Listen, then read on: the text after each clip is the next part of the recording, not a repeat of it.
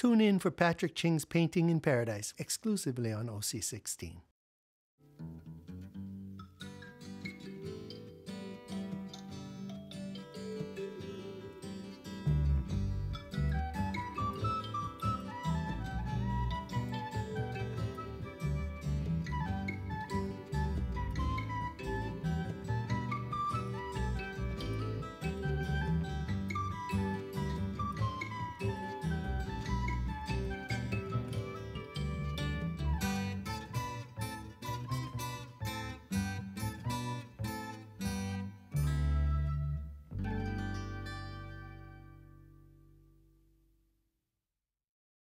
Aloha, I'm Patrick Ching.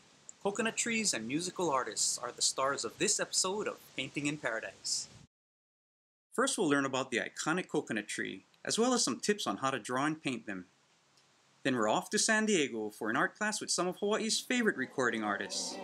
Join Jerry Santos, Kawika Kahiapo, and Kawaikapuokalani Hewitt on a musical edition of Painting in Paradise. What tree comes to mind when you think about Hawaii? Coconut trees. Coconut tree. Coconut. Coconuts. Coconut tree. Pineapple tree? Eh. The Hawaiian name for coconut is niu. It was an important plant in Hawaii, and one tradition was that when a child was born, a coconut tree was planted for the child to ensure that they had food and shelter throughout their lives. Many coconut trees that we see in public places are trimmed so that the nuts and loose branches don't fall on people. An untrimmed tree will be loaded with nuts that are either green or orange in color. Now get your pencils and paper and pens and whatever you want to color with, because when we return, I'll show you how to draw and paint the coconut tree.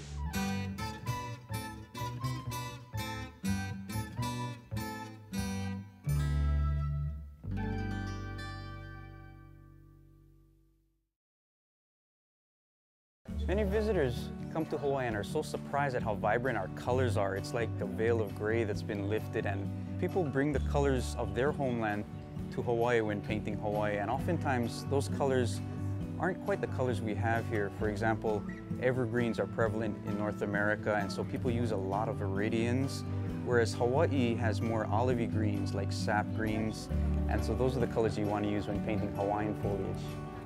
And that's our art tip for today. I'm Patrick Ching. Come and meet me at Patrick Ching Art in the Princeville Center. Hawaii's monk seals and green sea turtles have been around for millions of years. When their numbers got low, they became protected by law. These animals are returning to beaches they've not come to for hundreds of years. This causes excitement and sometimes conflict. Honu and Hina is a children's book that was painted with aloha by many artists of all ages. This story of coexistence answers some questions about the history of these animals, but more importantly, about their future. Available at the Kilauea Lighthouse, Patrick Ching Art in the Princeville Center, or online at patrickchingart.com. Today I'm going to show you how I go about drawing a coconut tree. Now a coconut tree or a coconut palm actually has some leaves that actually face right at you like that, you know. A lot of people don't draw those. But when I do draw a coconut tree, I like to draw those little leaves first, the ones facing right at you. So here's how I go about doing it. First of all, I decide where I want my coconut tree to explode from, okay? There's a little point on the tree. I'll say I want my coconut tree to kind of explode. In other words, all the leaves burst out like a 4th of July fireworks. And that'll happen right around here, okay? So right there's where I'm gonna put one of those leaves that are facing right at you. Okay, and I'm gonna make it kind of like a triangle shape like that with some leaves. Now you'll be using a pencil for this or I'm using a pen just so you can see it a little better. But right there I just did one of those leaves that point right at the viewer. After that, I'm gonna take a line here and draw where I want my trunk to go. And of course this trunk is thinner up top and it gets a little thicker as it gets down below, okay? So there's my trunk, there's where my tree explodes from. And now I'm gonna do the midribs. The midribs, just imagine a 4th of July fireworks. They're gonna go okay? And this is gonna tell you and the viewer just how long your coconut fronds are. With each one of these, I might go and give it a little meat. Give it a little meat. Okay, so these are the midribs. Okay, I'm making them a little thicker at the base, a little thinner at the point.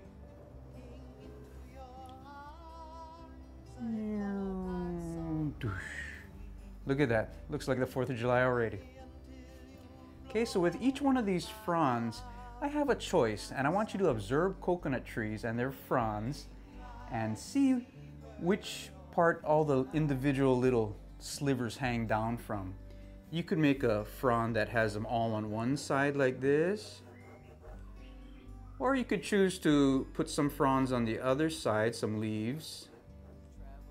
Okay, so that's your choice. I'll make some on the other side there. And I'll make some a little more on that side. Maybe this frond, I'll just have them hanging off of one side right here. Okay. Maybe that top one I'll get going on two sides. Okay, and one more like that. And there's my little explosion of coconut fronds. As I go down, I'm going to give the tree trunk little zigzag. Just kind of rock back and forth with your hand. Like little triangles going all the way down the tree. They don't have to quite touch each other. Just use the curve of your hand. Let it rock like that. And we'll say this coconut tree is kind of on a little, little grassy knoll like that, okay? Maybe it's going right down onto the beach over there. Now there's one more thing in this coconut tree. If it is an intact coconut tree, it hasn't been like, you know, um, cut. Uh, you're gonna have coconuts. And we can put those right around here, okay? Make the viewer believe that these fronds are in front of it and you can just vaguely see some of those coconuts back there. You can do a little bit of coconut flowers up top here. There's usually kind of little sprigs of yellow. And I just outlined my coconut tree. And now that I'm looking at my coconut tree, I think I can use maybe one more frond right around there. So I'm just going to go ahead and, and put them in there. I'm doing the leaves over here. A lot of times when you're going to paint these fronds that are low, they're kind of in the shadow. Just keep that in mind. Now that I've got the shape of my coconut tree and I'm pretty happy with everything falls, especially that little leaf that faces right at the viewer, I'm gonna go get a, a bigger pen. You can get a pen now and do these outlines. I use a Sharpie or a little Bic pen. So now that I've got my coconut tree pretty much where I want it, I'm gonna give those outlines a little more emphasis using a little bigger pen. I'll use a Sharpie and again, I'll start first with those fronds that are facing right at you. So that's in front, nothing gets in front of that. Okay.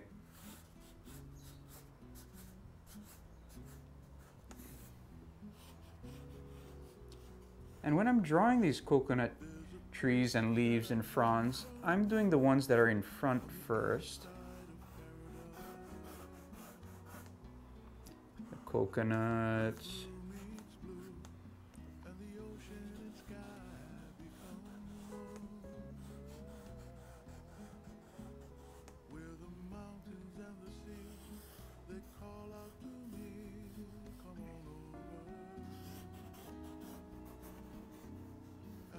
Okay, so I'm just kind of retracing them,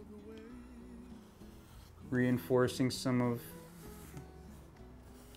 the lines and the midribs, shape of the leaves, the midribs.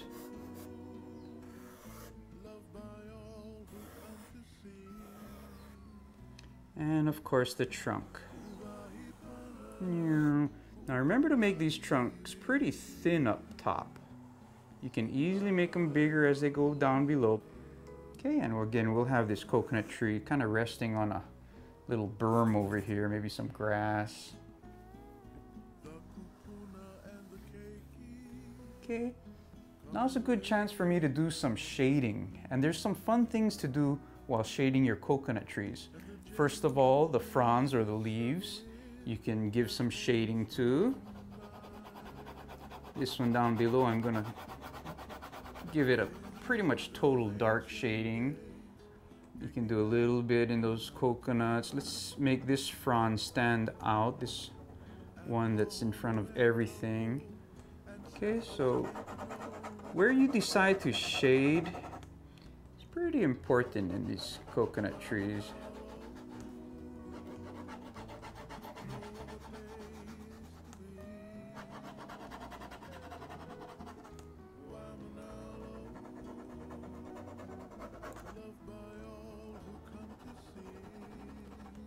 And your coconut trees are going to come out as good as your experience with coconut trees is.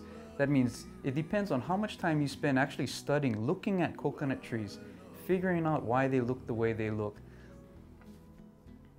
Okay, now I'm going to decide where my light's coming from. I'm going to say my light's coming from up here, and you can go ahead and draw a little sun if you want. Okay, we know where our light's coming from. It's coming from up there, going down this way. So I'm actually going to shade the trunk of the coconut tree and I'm going to shade it almost all on the right side. In other words, the side not getting hit by the sun.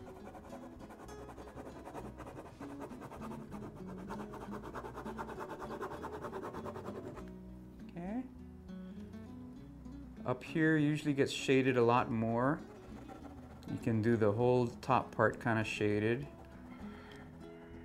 For you advanced drawers out there, you can get it darkest, not to the very edge, but almost to the very edge. Can get really dark. That way it has a little bit of reflected light over here. Looks like a little glow. Okay, so again, the shading can happen almost to the right side, but not totally to the right side. Also, if you want to go and shade a little bit inside of these these little nodules there. You can give a few horizontal strokes like that. That's pretty fun. Maybe every other one, huh? Okay. It's pretty nice for a coconut trunk. Now there's one more shadow that I'd like to include in here, and that is the cast shadow. The shadow that is cast from the light hitting the coconut tree. And let's say we're at the beach and you have a sandy area right here. When you make the shape of the coconut tree, it's not going to be just perfectly round. It's going to be sitting on some flat earth over here. So keep that in consideration when you're making the shape of your coconut shadow. And it can come right up here, okay? So there's a pretty good shape for the sun hitting it at that angle. We'll get to shade this coconut tree. It goes down the sand over here.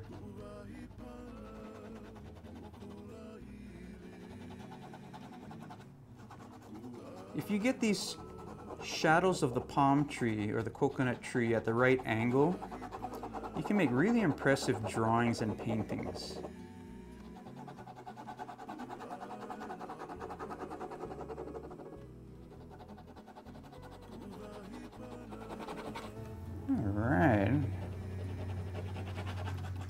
Can you can put some dots in there. You know, so you know it's the sand there. We'll put some dots. Don't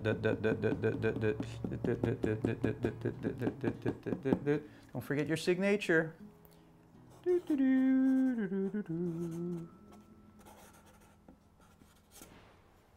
And there you have it, the coconut tree. Here's a couple of art tips for painting coconut trees. Painting these swaying palms is not as easy as it seems. I like to paint the palms in a dark silhouette first, and when that dries, I repaint them again with their actual colors. Many people try to paint every single leaf on each frond. I think it looks way better to give the fronds some bulk first, and then pull some points out of the bulky fronds. The coolest fronds are the ones facing right at you. They reflect the most light toward you and are usually the brightest colors.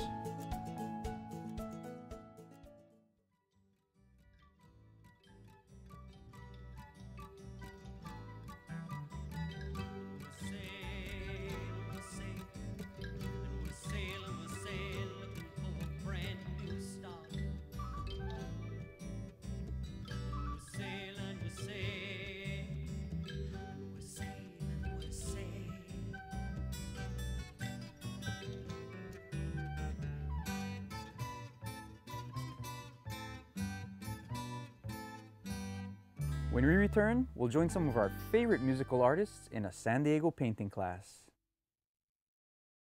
Aloha, I'm Patrick Ching. If you want to become a really good painter and do it quickly, let me teach you with my Painting Nature DVD. This two DVD set contains my most important artistic insights and all the techniques I use to create my most intricate paintings. In the first DVD, you'll see how I do a fairly complex painting from start to finish. In the second DVD, you can sit in on one of my painting workshops. Beginners as well as professionals can benefit from these lessons. My Painting Nature DVD is the best investment I can think of for anyone who wants to dramatically increase their artistic skills or even become a professional.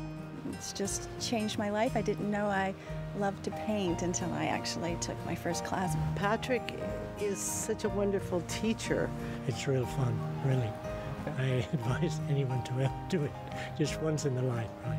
You're an amazing artist, even if you don't know it yet. I can't wait to help you bring out your best on canvas.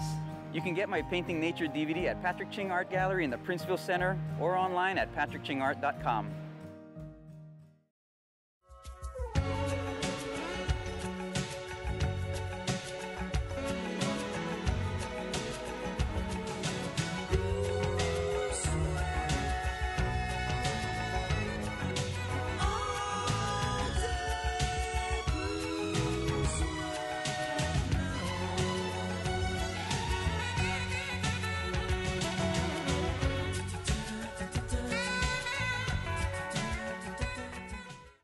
One of the most spectacular things an artist can paint are sunsets. They're also one of the most difficult. Sunsets place opposite or complementary colors against each other, causing an exciting feast for the eyes. Sunset colors change like a rainbow, moving from red, orange, yellow, green, blue, then purple. One hint when starting a sunset sky is to fade from a very light blue to a darker blue purple. Then paint in your yellowish orange glow so that you don't mix the orange directly into the blue, which would turn your sky brown.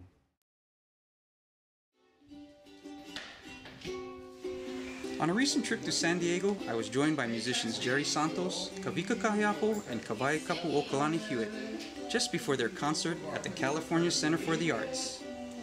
Our host Kelly Haupu let us use their hula halau at These Islands gift shops in Escondido to hold a nature painting workshop with my musical heroes. It was nice to work with such talented people who already had a great rapport with their hands.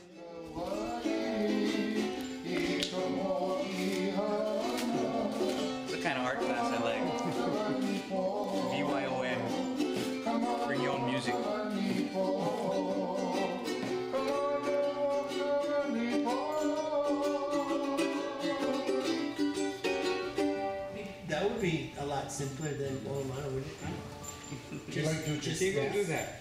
I'm gonna orchestrate this so we have This is my music. variety. Yeah, is this good enough? Oh yeah, perfect. But I remember you used to tell me stories about the peaks of Oklahoma. And uh, you came in doing Oklahoma. Well, I know that. in my life. I don't heard about that. it's what you would like to take home with you. That's what I'm asking. What I'd like to take home with you is my reputation intact.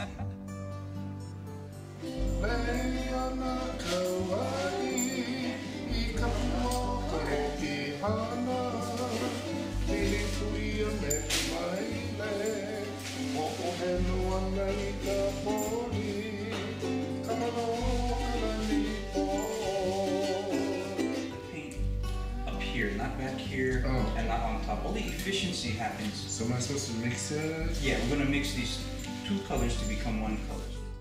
The primary colors, red, yellow, and blue, are where color starts. Can't mix anything to get red, can't mix anything to get blue, can't mix anything to get yellow. However, if you do put yellow and red together, you get what everybody? Da, da, da, orange. orange, right. Yellow and blue makes green, and blue and red makes purple. Yes, so right here, is the color wheel of life. Start with the white and, and just paint within these circles. Probably use all that paint about like that. Okay, just give it a thin coat of white in those two circles. Two colors of sky. Have you make it anyway?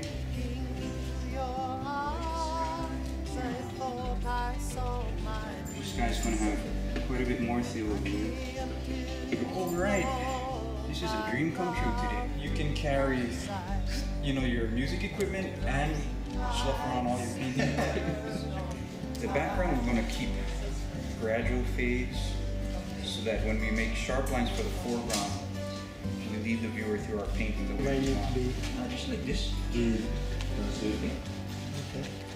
Yeah, so just do the rest all the way up and stop about here. Giving it a thin coat on everything except, you know, the bird that we want to keep white. And then after that, we can paint into this green with a dark black. So basically, we're going there, we're going to go around. Okay, so everything else, we're going to paint a thin coat of this right here.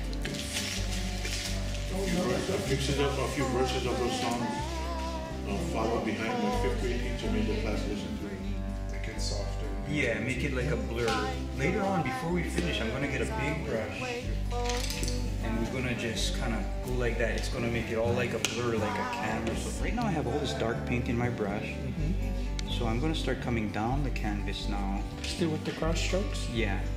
And I go kind of in a S shape. Um, when I do another layer, I'm reaching up into the previous one, pulling paint down. Down into the layer. Yeah. And as I go down the canvas, I'm going to lose more of the dark color paint, pick up more of the light color. The lower part? Yeah. Softly, good, good. That's even better what you just did. Tilting the back end down. Uh-huh. Good.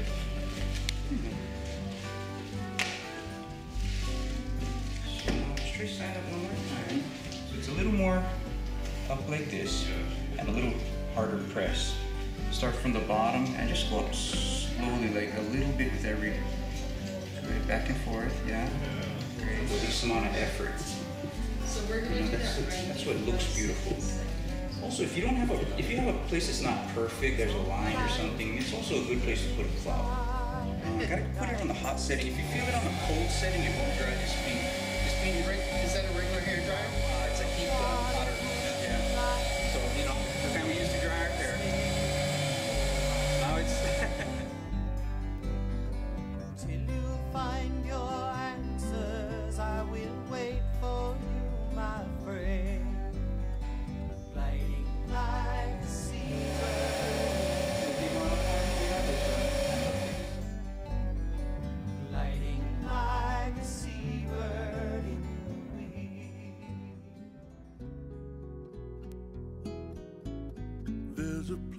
that I come from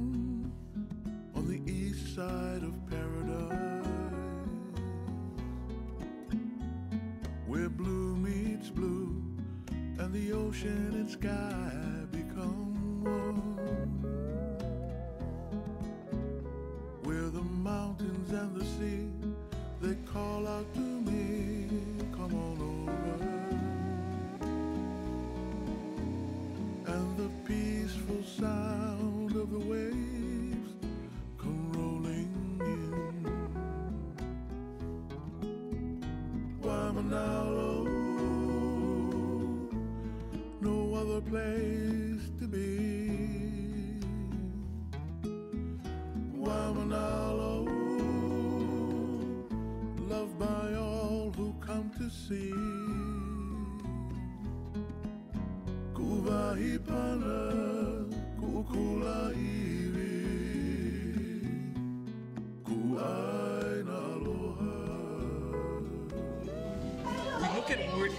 have and what we want to get. Um, we're going to start building the lighter and lighter greens. Okay, we got a good foundation. We got a couple dark greens down there, and we'll start to build some lighter greens.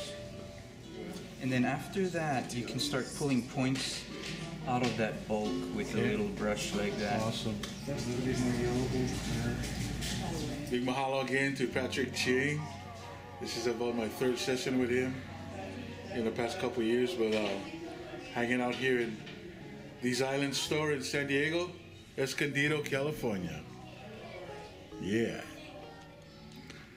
Well, I was very um, worried about participating in a painting program, having never touched paints or a brush.